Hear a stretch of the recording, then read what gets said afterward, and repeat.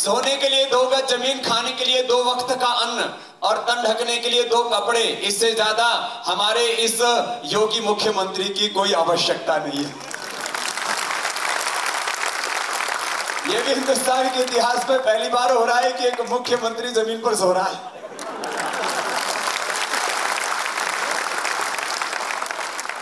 आचार्य चाणक्य कहते हैं, जिस देश का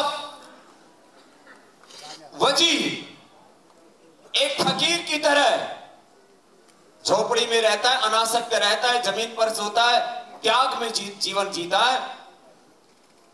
उस झोपड़ियों में रहने वाले उस वज़ीर की जो जनता है वो महलों में रहती है। वो अच्छे दिन उत्तर प्रदेश में आने वाले अठारह अठारह बीस बीस घंटा उत्तर प्रदेश के लिए काम हो रहा है। और ये भगवान राम की भूमि, ये भगवान कृष्ण की भूमि, ये भगवान शिव की भूमि उत्तर प्रदेश ऋषिमुनियों की भूमि उत्तर प्रदेश, अब एक बहुत बड़े सकारात्मक दौर से गुजर रही है और यहाँ राम राज्य आएगा, यहाँ भगवान कृष्ण का, जो उन्होंने आज से पाँच हज़ार साल पहले धर्म युद्ध किया था, ये तो धर्म युद्ध का दौर चल रहा है। अब भगवान कृष्ण की कुशलता का, कर्म का, योग का, भगवान श्री राम की मर्यादा का उत्तर प्रदेश और भगवान शिव का शिवत्व का उत्तर प्रदेश चारों और सबके जीवन में खुशहाली हो। शिक्षा के क्षेत्र में, चिकित्सा के क्षेत्र में, कृषि के क्षेत्र में, गोरक्षा के क्षेत्र में, सच्चरित्रता और पवित्रता यहाँ की कायम रहे। इसके लिए जो सात दिनों में कदम उठाए हैं, ये तो मात्र कुछ कदम आगे बढ़े हैं। जैसे जैसे आगे बढ़ते जाएँगे, वैसे वैसे पूरे देश में आप एक राजनीति के क्षेत्र का एक नया इतिहास बनता हुआ आप उत्तर प्रदेश में देखेंगे और आज क्योंकि योग महोत्सव है और 170 देशों के समर्थन से यूएन के अंदर प्रस्ताव पारित हुआ। दुनिया का यह भी एक बहुत बड़ा इतिहास बना कि मुस्लिम देशों ने भी अंतर्राष्ट्रीय योग दिवस के लिए समर्थन किया और एक देशों में पहली बार अंतर्राष्ट्रीय योग दिवस इक्कीस जून को मनाया। इस बार का भी योग दिवस शायद उत्तर प्रदेश के लिए भी बहुत बड़ा ऐतिहासिक होने वाला है। मानी कि जून को योग का एक बहुत बड़ा इतिहास भी और बनने वाला है। हर दिन नए इतिहास बनाने हमारे श्रद्धे पूज्य, हमारे योगी जी, महंत जी, मुख्यमंत्री जी, उनके लिए आप जितने शब्द बोले वो छोटे पड़ते थे। और, इतनी सहजता, इतनी सरलता इतना पराक्रम। और साथ ही में उतनी ही विनम्रता। मैंने महाराज जी को करीब पिछले पंद्रह सालों से देखा है। माने इनको जितना बड़ा दायित्व मिलता जा रहा है, उतने ही भीतर से सहजता, उतने ही ज़्यादा और विनयशीलता और जो उत्तर प्रदेश के करोड़ों लोगों की जो अपेक्षा है मैं उसको इनके हृदय में देख रहा हूँ और मैं विश्वास रखता हूँ कि उत्तर प्रदेश की अपेक्षाओं पर 100 प्रतिशत खड़े उतरेंगे हमारे योग। और आज योग का ये दिन है, योग महोत्सव का दिन है। और योग के बारे में दो तीन संदर्भ में कहना चाहूँगा। योगी का शरीर बल, योगी का मनोबल योगी का आत्मबल इतना प्रबल होता है कि एक योगी में हज़ारों, लाखों, करोड़ों व्यक्तियों जितनी शक्ति होती है योग शारीरिक व्यायाम भी है, वो आसन भी है, वो प्राणायाम भी है, वो ध्यान भी है। लेकिन योग के द्वारा जो एक विराट चरित्र हमारा तैयार होता है, हम नर से नारायण, जीव से जो ब्रह्म बनते हैं तो उसे योगी जैसा धवल चरित्र, महान चरित्र किसी और नहीं और वो आपके सामने मूर्त रूप में है। मैंने पिछली बार अभी जब इंटरनेशनल योग डे का कटरन एजेंट प्रोग्राम था दिल्ली में, तब उस बात को कहा था, मैं बस उस बात को दोहरा करके आगे हमारे श्रद्धेय पूज्य महंत जी को, योगी जी को, आदरणीय मुख्यमंत्री जी को यहाँ उद्बोधन के लिए आमंत्रित करूँगा कि हमारे दिल में एक संकल्प है। कि ये देश योगियों का है ऋषियों का है। और आज इस देश में प्रधानमंत्री जी तो योगी हैं, मुख्यमंत्री जी तो योगी हैं। वो दिन भी आए जल्दी। जब देश के चिकित्सा के क्षेत्र में सबसे बड़ा डॉक्टर हो तो योगी हो, इंजीनियर हो तो योगी हो, उद्योगपति हो तो योगी हो, किसान हो तो योगी हो, जवान हो तो योगी हो माता पिता योगी हो, संतान योगी हो और पूरा हिंदुस्तान योगी हो योग में विश्व। योग में राष्ट्र योग में विश्व और वो दिन भी आएगा जब ये योग की संस्कृति, विश्व की संस्कृति बन जाएगी, क्योंकि योग के अलावा इस दुनिया के कल्याण का कोई मार्ग हो नहीं सकता। World health world peace world world health world peace world prosperity के साथ साथ हैप्पीनेस हार्मनी जो जीवन और जगत के मूलभूत तत्व और सत्य हैं। वो आखिर योग से उपलब्ध होंगे। और कोई मार्ग भी तो नहीं है इस दुनिया के सामने। क्योंकि आज जिस तरह से दुनिया में रोग हो रहे हैं blood pressure sugar obesity cholesterol और हार्ट की प्रॉब्लम कैंसर ऐसा नहीं एमएस ऑटोमिन डिज़ीज़ जिस तरह से चारों तरफ़ एक रोगों का क्रूर आक्रमण हो रहा है, तनाव से सारी दुनिया गुजर रही है। बीमारियों के साथ बुराइयाँ, बीड़ी, सिगरेट, शराब अभी अगली बारी शराब की है।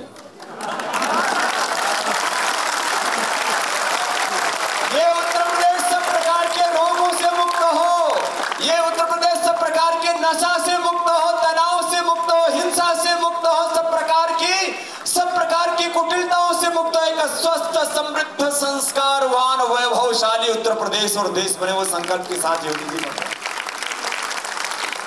तो भैया कल से कपाल भाती शुरू कर दो। फिर दारू पीने की इच्छा ही नहीं होगी। ये सच कह रहे हैं, हमने इसके ऊपर साइंटिफिक रिसर्च किया है। योगी जी हमारी डॉक्टर सरले डेरिस बैठी खड़ी हो ना। ये बहुत बड़ी साइंटिस्ट है देश की बहुत रिसर्च की इसने देश में गौरव बढ़ाया पूरे देश का गौरव बढ़ाया योग में रिसर्च करके। और यही हमने रिसर्च किया था आज से करीब दस साल पहले। कपाल भाती अनुलोम विलोम करने से बीटा इंडोफिन इनकेफ्रिन हार्मोन्स बढ़ जाते हैं और प्रोडक्टिन, कार्टिसोल एसिटेज हार्मोन्स घट जाते हैं। हमारे ओपी साहब यहाँ पर बैठे हैं और सारे डॉक्टर्स यही लखनऊ के एस के साथ पतंजलि ने एक संयुक्त पूरी रिसर्च की थी, क्लिनिकल कंट्रोल ट्रायल किया और उसमें पता लगा कि स्ट्रेस हार्मोन घट गए और जो गुड हार्मोन से वो बढ़ गए। यदि आप तनाव से मुक्त होना चाहते हैं, नशे से मुक्त होना चाहते हैं तो कपाल भाग के अनुलोम विलोम करना शुरू कर दीजिए। वैसे भी दारू मिलने वाली ही नहीं है, फिर आप पीने वाले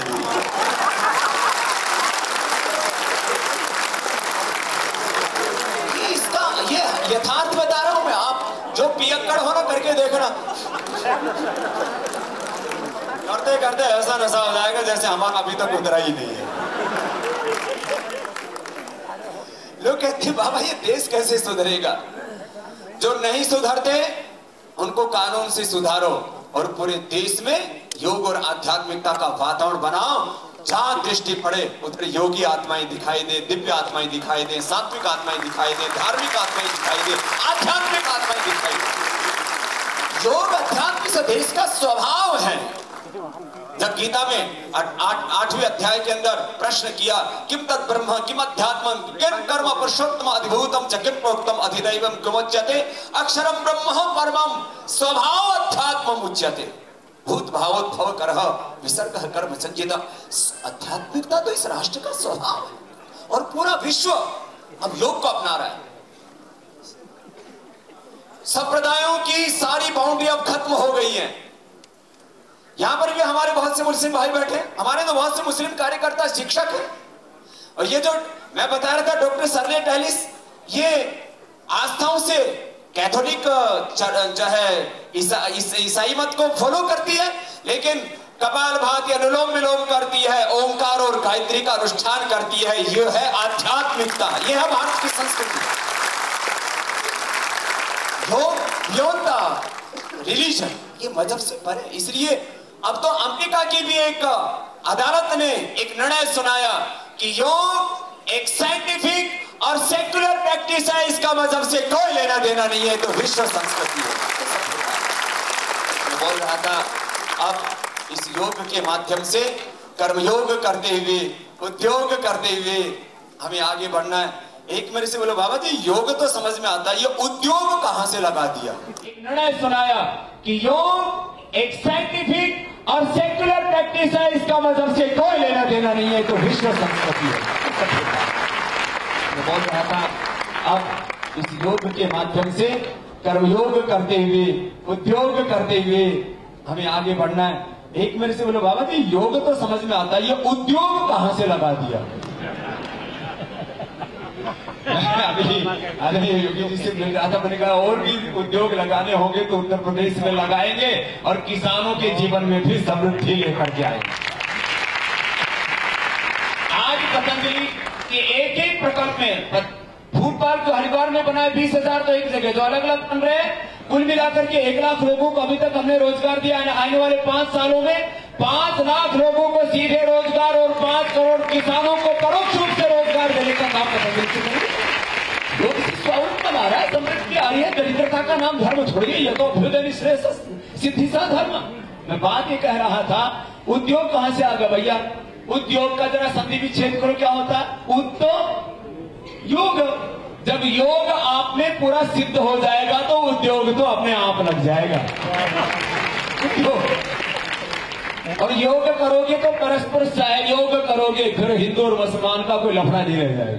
कोई झगड़ा ही नहीं रहेगा सहयोग एक मेरे से बोले, बाबा, आप हो क्या?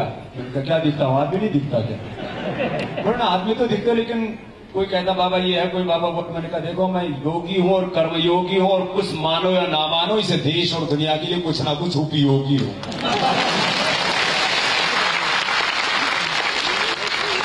तो भैया, जो योगी होता है, वही दुनिया के लिए उपयोगी होता हाँ। ये योगी हैं, इसलिए उत्तर प्रदेश और देश नहीं पूरी दुनिया के लिए उपयोगी